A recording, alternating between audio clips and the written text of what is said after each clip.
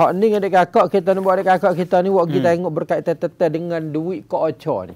Gapo kok oco kok oco? Duit si ni ni lah. Oh. Kita simpan masuk di dalam tambung uh, dalam tabung kok oco. Mm-hmm. Lepas tu buat kita cukup masuk masa peceng lah. Uh-huh. Dia akan wui duit peceng pada kita. Mm-hmm. Ah, tu dia.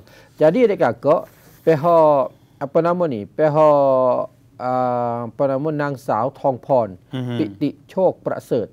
Beliau ni selalu selaku pengurus uh, di bahagian apa nama Kokoto Surathani ni dia royak katanya.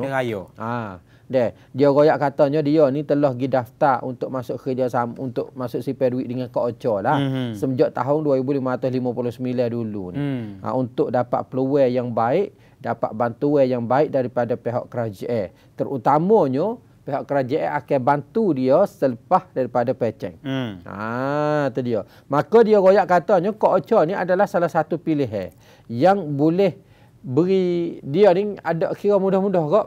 Duit sipir. Ha, duit sipir. Hmm. Selepas daripada dia kasihan, dia peceng mari dah kok kira mudah-mudah ada tempat gantung. Hmm. Sebab duit ni ni akan lagi bantu kepada dia adik kakak. Mm-hmm. Ha tu dia. Lepas tu lelah ni adik kakak sistem keoco saat ni dia bertambah beri kemudahan kepada rakyat dengan apa nama dengan aplikasi. Mm. Ha tu dia. Dan Bagi orang lagi masuk dalam apa dia keoco ni satunya mm. kubul heko bedo gapo tu.